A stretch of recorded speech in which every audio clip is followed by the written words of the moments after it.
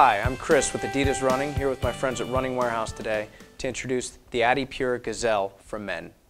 The Gazelle is a member of our AdiPure toolkit designed to promote greater running efficiency.